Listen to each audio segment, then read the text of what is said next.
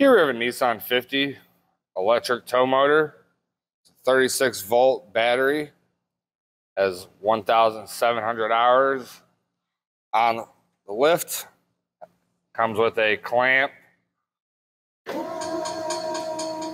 going up, down, tilt back, tilt forward, open up the clamp.